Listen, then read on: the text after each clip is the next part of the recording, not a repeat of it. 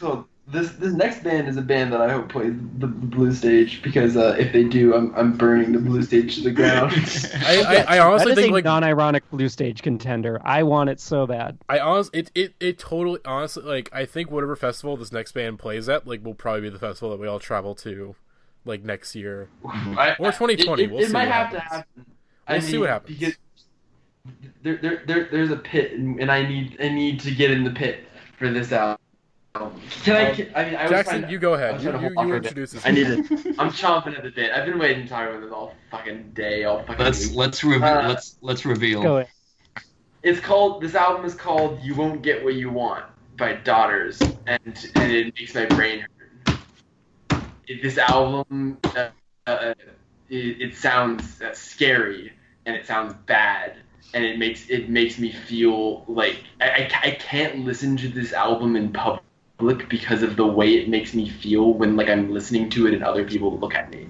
Yeah, I I um, need to understand like how there's right off the bat the thing that is most like incredible this album is just the visceral like way that they are able to use the loud sounds to make you just feel things in your chest. This album is it is a for any of you maybe who aren't familiar, uh, Daughters are a noise rock band.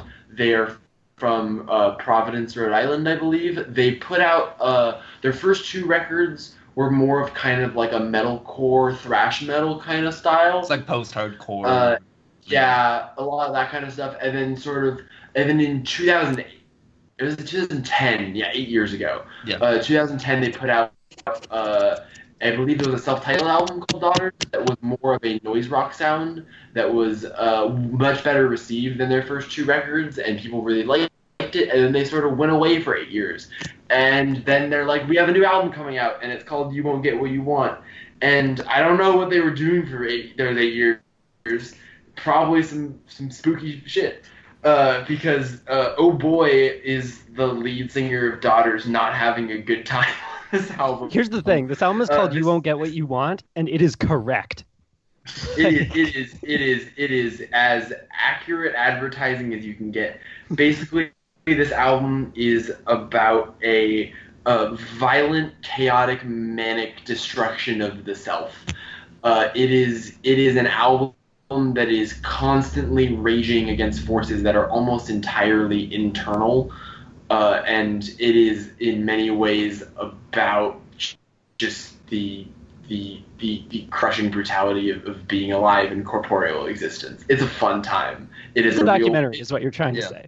There is I, actually It- it- I was gonna say it's a- there is a a- it's a- documentary about the making of this album. By the way, there, there Yeah. is one on Oh. YouTube if you want to watch Yeah. that, Jackson, after this It's like, a, podcast. it's like five minutes or something like that, but it's really interesting to delve into the creative process that they were going for with this record because essentially they were just traveling around. They they wrote this over the course of like I would I would say at least two or three years It because they said talk since about 2015 on their Wikipedia page, Yeah. which is amazing for a thing we'll get into later.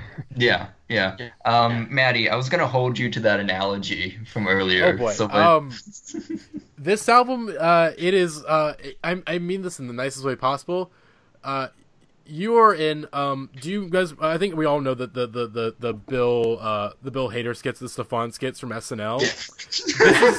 This is the uh this is like a dark evil version of Stefan describing like some like secret ass. this is the diner dirty- scene from Mulholland Drive. is Yes. what it- yes, Yes. that's what it is. This is the diner from Mulholland Drive. This is like this is like you know what the food here it's all right, but I need to go back to the dumpster. I need to go to the dumpster and see what they're what's back there. And the, and and this is this is what like forty six minutes of the It's like big of, uh, this Yeah, is forty six 50 minutes it of, is of the 40. trash man scaring the fuck out of you, giving It is giving it you a heart attack. It is pretty much as long as the rest of their entire discography up to Oh, this yeah. day. and it's not like Fucking they like toned it down. To, they're just like, yo, let's let's do that for 48 minutes and see if people can handle it. And I, I couldn't. I could not handle it. It is almost it. This album, it is so this the sort of style. It borrows from a lot of different kind of of the loudest and and least uh, fun hang uh, uh, rock genres, including uh, noise rock, Uh, there's a lot of kind of krautrock influence. There's a lot of repetition on this album. There's a lot of no Uh, wave. No wave. Uh, there's a lot of kind of uh, math core stuff, stuff that sounds like early Swans records, kind of uh, stuff that sounds like bands like This Heat, uh, kind of post punk stuff. There's a lot of this. There's, There's- a lot of battles on here as well with how intricate the instrumentation is. I was gonna Yeah. mention from from like the beginning of this album, uh, the intro track. What's the name of it again? City City song. City song. Oh the my God, drums on it are really need to fucking. Talk The about the drums on that song especially, and, and throughout the entire album, but like but specifically that song, are fucking terrifying. They're so Yeah. menacing. Yeah, the, Yeah. the, the, those, those like sequence 16 notes of just of just bass just just hitting Yeah. your ears repeatedly over and over and over again. That song is incredible because one of the things that's just that's just pure fucking terrifying about it. If we're talking about bass lines, I want to talk about the the bass line on Less Sex Ooh, because Oh, that yes, is that is really fucking dirty. it is it is pure Nine Inch Nails core like Yeah. to to and and it is so that that song is one of the most important songs in this whole album because if you don't have that song that is like at least pretending to like try to get you to enjoy it like uh, otherwise it, it is it is the break that you absolutely need and, and sort of acts as a transition point uh, into the, the back half of the album but kinda Yeah, going it's a back necessary breather for the fucking onslaught that comes after it. Yeah. Oh, and, and the onslaught that comes before it. It, it comes right after the Flammable Man and the Lord song, back to back, which is uh, something we'll get to. We, we haven't even gotten past City Song.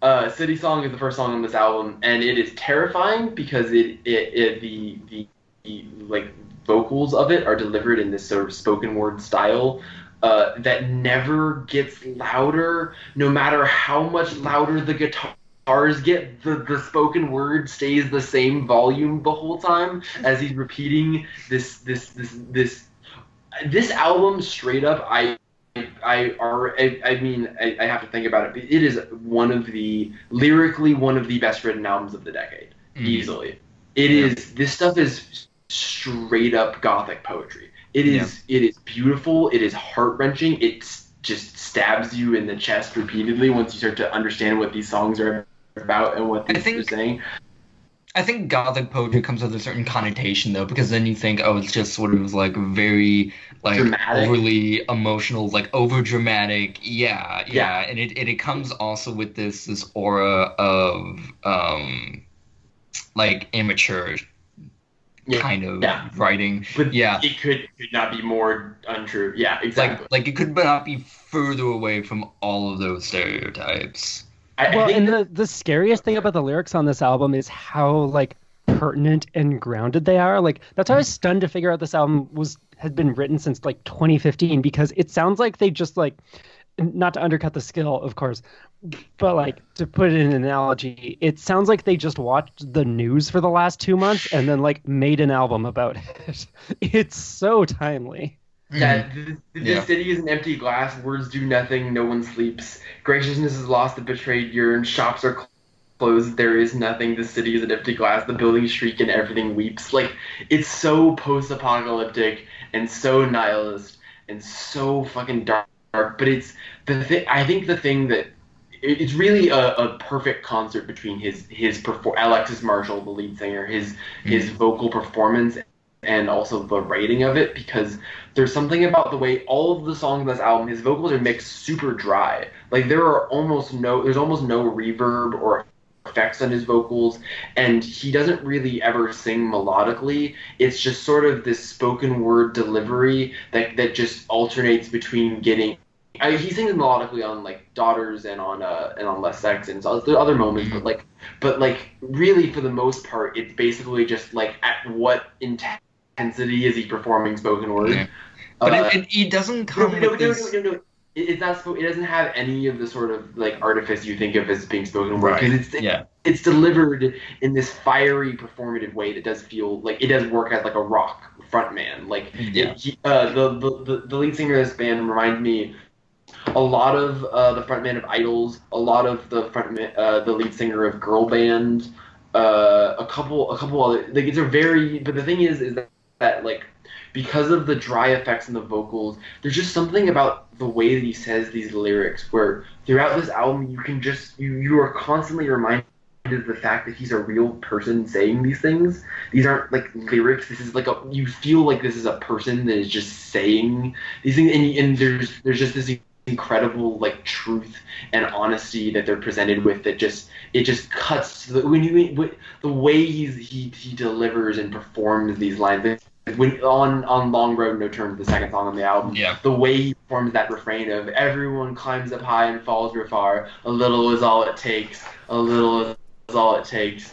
It's just it's just so devastating and so like captivating. Like he Yeah. he's just completely like performing mental break on every song here in such a compelling way. Oh my god Yeah, Yeah, it is a lot of absolutely the bone chilling, both in like delivery and in writing.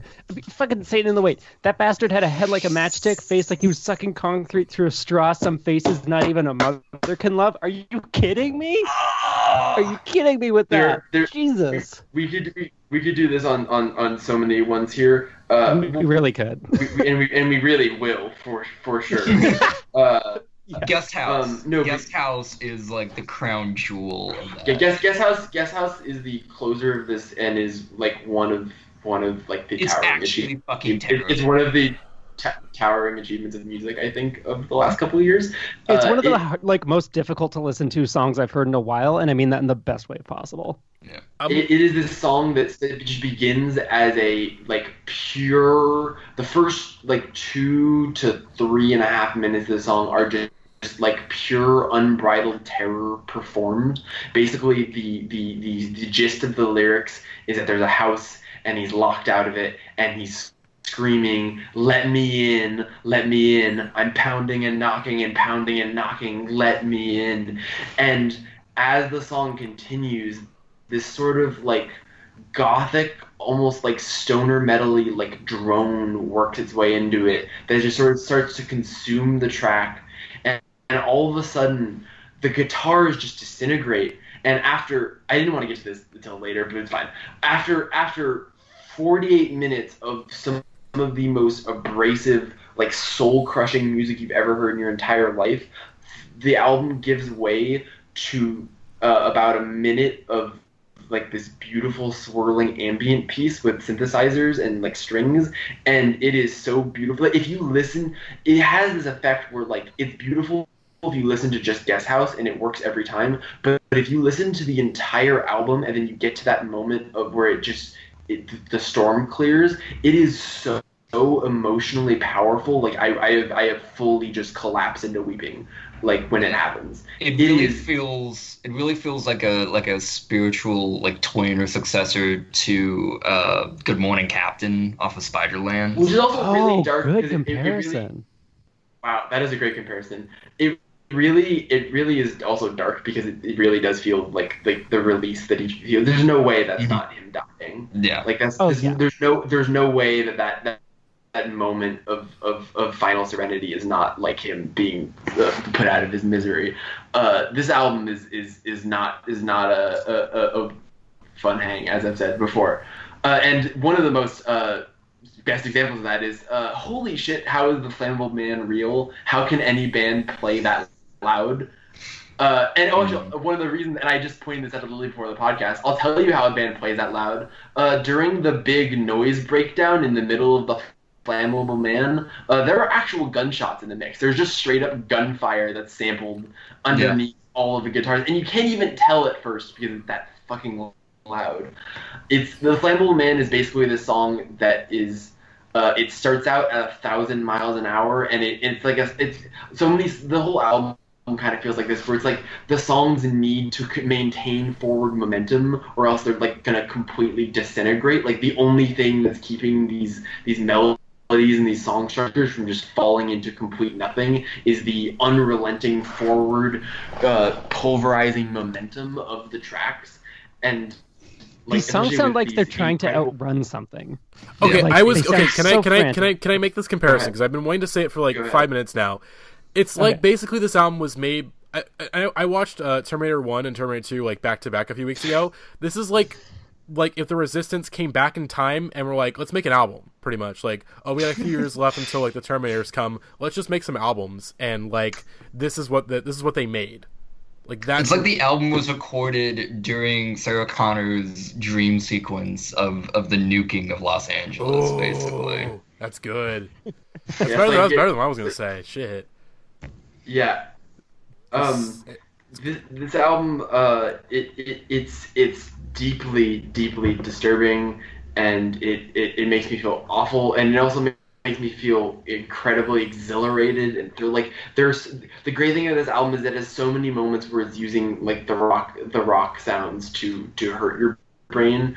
Uh, but then they, they they do they do they pace this album so well, and they do just enough of like like the reason they hate me is is incredibly noisy and disgusting and filthy, but it's this great way they manage to like basically turn it's it's like their version of like a Queens of the Stone Age song almost. Like it has this like swagger to it, and and uh, I, I would be lying if all week I have not been yelling to myself in my apartment, "Don't tell." me how to do my job. It's just Give me, give God, me, son it- of a bitch. Whoa. It also has one of like the best one-liners people on the album. you.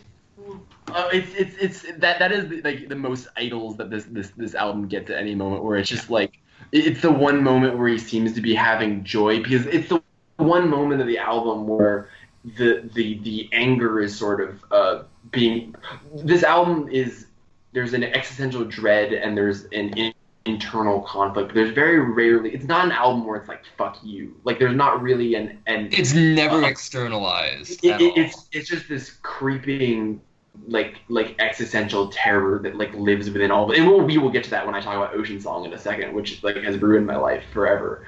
Uh, but yeah, uh, it's it's just it's so it's so specific in the way it kind of handles some like obviously there are lots of songs about how like everything's bad and there are lots of songs that are like ah this is meant to be loud and scary but there's something about this that doesn't feel performative it feels it like there was a I, there was a review I saw on Rate Your Music that said like there this band sounds like it's not that they chose to make this kind of music it's like these this is the only way they could play these songs Yeah.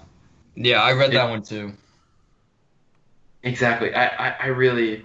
I, I'll, I'll just get into it. Yeah, Ocean Song is fucked up. It's like the story song on this album, is, and it is it is it is really, really fucked up. It's about a guy named Paul, and Paul comes home and he parks in his driveway, and the fucking garage door isn't working, and he snaps and he runs away like a wild animal. And then there's this refrain in the track where basically the song has this like sk- uh, skipping tom drum and these like weird sour like guitar things that are very Swansy, and it, he uses that to sort of be the storytelling part of it. But then every once in a while, it will just suddenly ratchet up into these crazy noisy guitars, and it goes go! Run! Go! Run, and it's basically about this guy that like when faced with the endless cycles and mundanity of life and just the un the unending banality of existence just sort of like sees his son in the driveway coming home from work one day and just is overtaken by some animal terror and he and he starts running. And the way that he describes all of this stuff is like is is truly inspired stuff. Like oh I'll just read the one uh, section uh, Paul turns to the right, tracing the unkempt bushes lining the house, and the bed's cracking beneath. He reaches over to uncouple the latch, and sweat forms of his brow and the back of his neck, and years of servitude are at last present. You can feel them in his bones, and Paul is overwhelmed with the urge to cry, to crumple down to his knees and release. But pride gives it this shove. What? This is like straight up like better than anything I read in English class, dog. It's incredible. this is this is better than every the Great Gatsby. Better than that. Better than all that dumb bullshit. It is, inc- and, and the fact that this is happening over like, like the most wild rock music I've heard this year, easily, is just truly insane. This album is really good. I could talk about it a lot. Lily, why don't you talk about Daughter? Because I've been talking too much, and Daughter is, is something that needs to be talked about. Oh yeah, I'll talk about daughter. Uh, I don't know, like just to touch on something that was said earlier. Like I think one of the most upsetting things about this album is that it has these like stark sickening, like surreal lyrics that feel so like apocalyptic, and yet they're very relatable in a literal way. So, oh yeah, like this no, album yeah, is they- just speaking about the world, and that makes you more upset that you're listening to this, thinking, "Oh yeah, I feel that in my day to day life."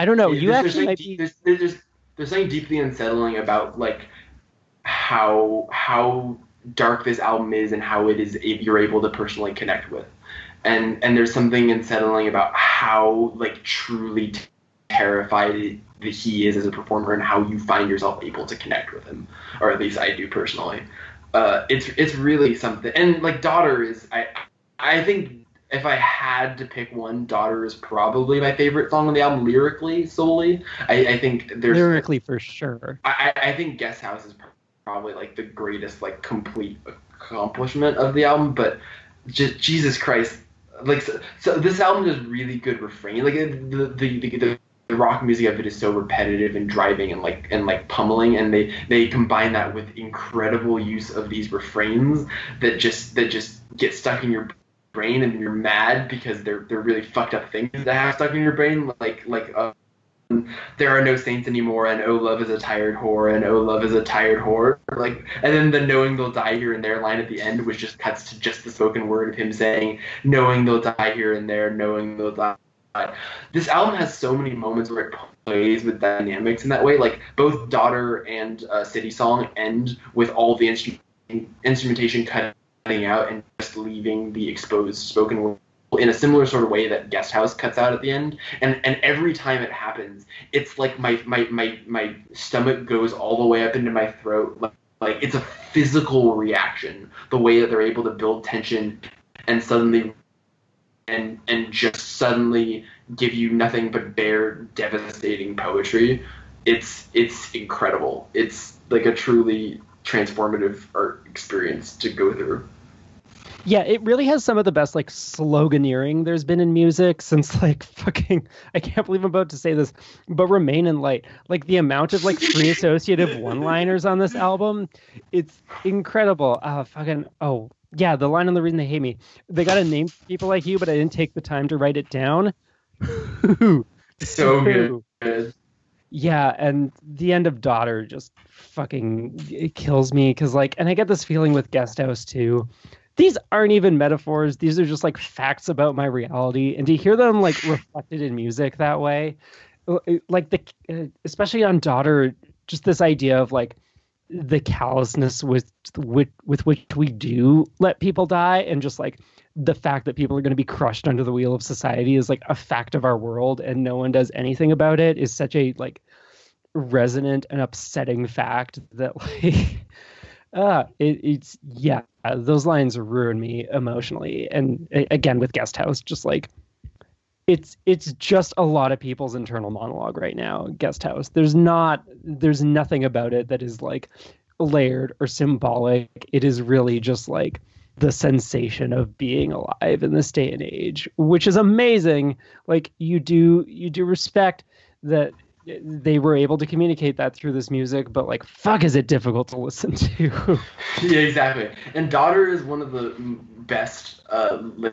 like changes of pace for the album. It's an, it's a song that like didn't click for me on initial listen because it just sort of, I mean, I mean, when you're listening to this album for the first time, there's some wild shit that's gonna grab most of your attention on the first listen. Like I don't know, uh, every second of the flammable man, including Yeah. uh, the refrain is something burning here. Or, or is it me with those like nightmare carnival guitar riffs? oh my god, that song is fucked up. Um, the But yeah. breakdown of that song fully makes you want to get in the pit for like the first time in a decade like i don't give a shit i will slam dance in my kitchen to that song no one It- can stop me. It, it, is- it is truly and and and, and uh, did like I was saying, Daughter is this really cool like gothic rock song that has more melodic tendencies than than most things in this album, which isn't saying much, but like that's the thing in this album, like this album uh like forces like just forces you to submit to it, and then once you you sort of once your brain is like okay this is what music is now it then gives you actual music in a way that is so like com- like is so much more viscerally effective um, because Yeah, of the the, way that that, there are only, like, the, the, the pummeling melodic- riffs. The fact that there are only like three melodic moments on this album and they're all very spread out just makes them like that much more powerful. Exactly, yeah. Especially with like how pummeling and repetitive a lot of the the more like uh, abrasive shit is. We could talk about this album all day. We've talked about most of the best songs on here. There, uh, I would just like to mention a couple of things. Uh, the riff on "The Reason They Hate Me" is like filthy and is one of the, the just pure pure nastiest riffs I've heard since "Keep Your Eyes Peeled" by Queens of the Stone Age. It is it is that level of just just grime and and is a perfect uh, way to start that song. Uh, Long Road No Turns is like incredible. That song is is is really like the one that sort of like unlocks it for me on first listen in, terms of like that noisy rock sound. And it's really it's really the out the moment like the way that uh, City Song transitions into uh, Long Road No Turns is just so incredible because City Song is this just slow build and just like death by slow suffocation, uh, and then and then just have it just break loose in this just frantic, like completely manic uh, song is just it's it's so incredible every time, and every time it just sucks me in in a way. It's like if I if I listen to City Song in its entirety straight into Long Road No Turns, I'm in. Like I'm all the way in now. Strap up, baby. Yeah. Uh, the song, this album is incredible. I could talk about it all day. I will stop now.